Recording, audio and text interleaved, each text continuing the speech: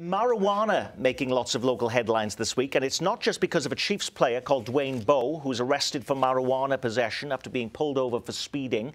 In Johnson County, a Leawood couple files a federal lawsuit over a SWAT-style home raid last year by heavily armed sheriff's deputies who wrongly believed the couple was growing marijuana because they had earlier been seen leaving a store that sold hydroponic gardening equipment. They're seeking 7 million in compens uh, compensatory and punitive damages, according to the suit, after they and their two young children were allegedly intimidated, traumatized, and held under armed guard for more than two hours while deputies searched their home during the early morning raid.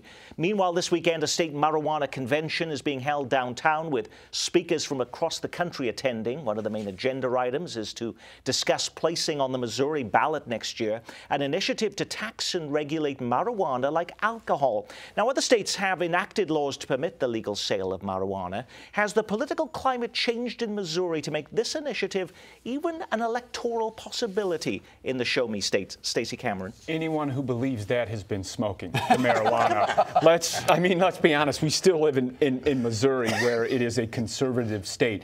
Are, are the pendulums possibly swinging to that happening? Maybe. Maybe for medicinal marijuana, but to open up the regulation where it's going to be regulated and taxed more like alcohol? No way. I agree with that. I talked to a Missouri state senator this week, Jason Holsman, talking about introducing legislation next session for medicinal marijuana, taking a small step forward on that front. That might open the door to broader usage four, five, ten years down the road. But there is a change, though, in the argument, is that because it's also about revenue now. I mean, you, if you are going to regulate it this way, there's a huge amount of revenue, and states need the money, don't they, Eric? That one state did, uh, what is it, Denver did $25 tax on it.